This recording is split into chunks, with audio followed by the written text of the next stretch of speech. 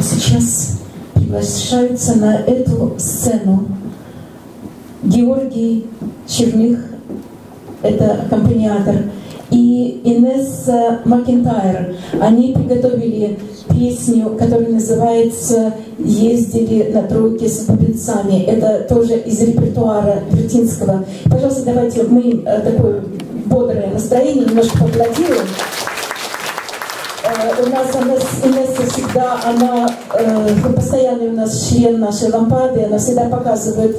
Э, вот сегодня нам представилась, э, представилась в виде э, дамы 30-х, девушки 30-х годов даже 20-30-х годов.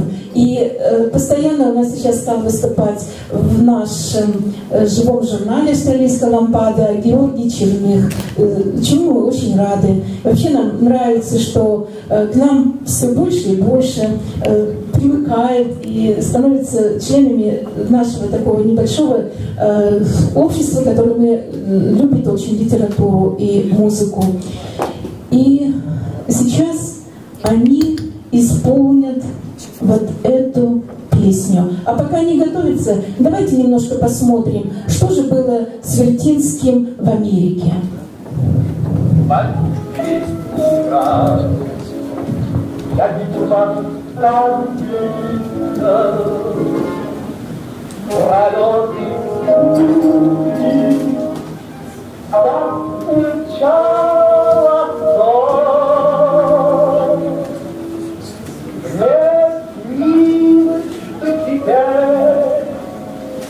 Притонов Сан-Франциско И новый негр Попадает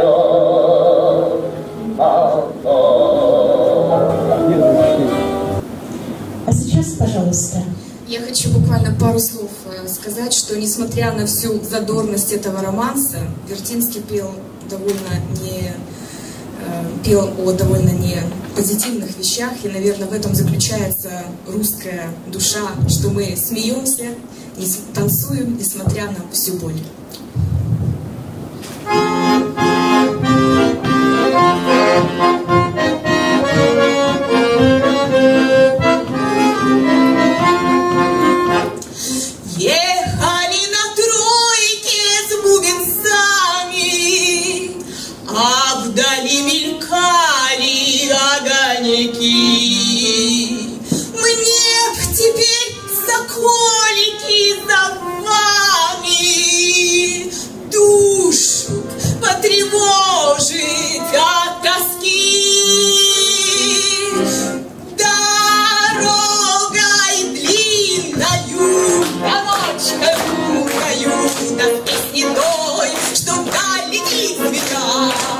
Да с той старинною, с той что по ночам так мучила меня.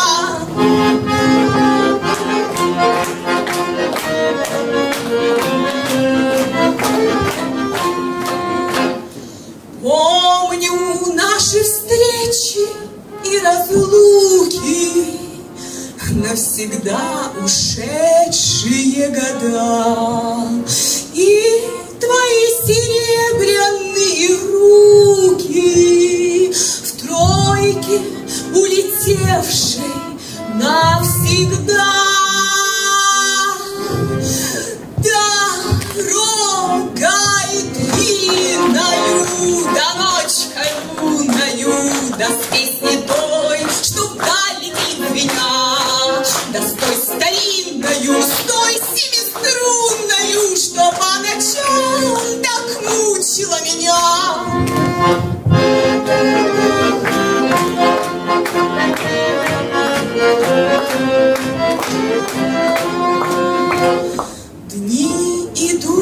Печали, умножая, Мне так трудно многое забыть.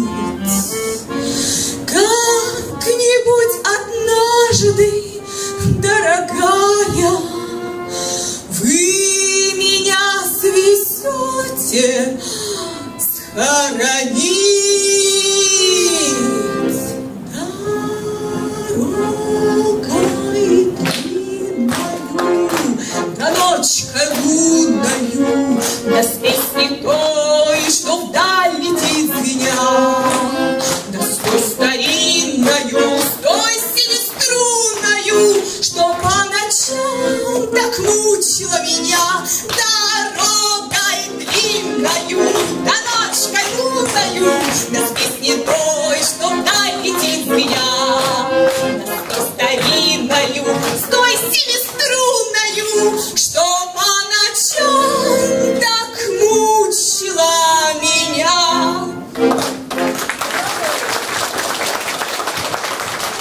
Большое спасибо, Инесса.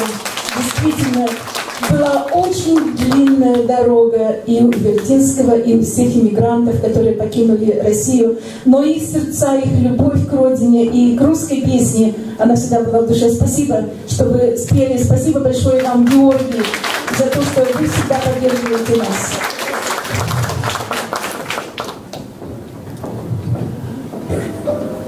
Он хочет только одного Итак, иммиграция в Китае. – своего зрителя, В 1935 году он прибыл в Китай. благодарного. А в Шанхае большая община российских иммигрантов. Шанхай это в 20-е годы он был таким а, центром торговли, центром жизни Азии. В Шанхае Вертинский дает около 20 концертов и имеет необычайный успех.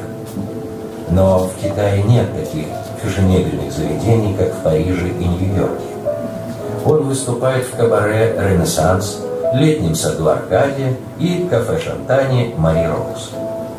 В сущности, это те же кабаки, от которых он в свое время бежал из Парижа и которыми так тяготился. Но только еще более провинциальный и дешевый. Вертинский был на грани нового жизненного разочарования, когда неожиданное известие изменило все. Он получает приглашение выступить в Советском Союзе.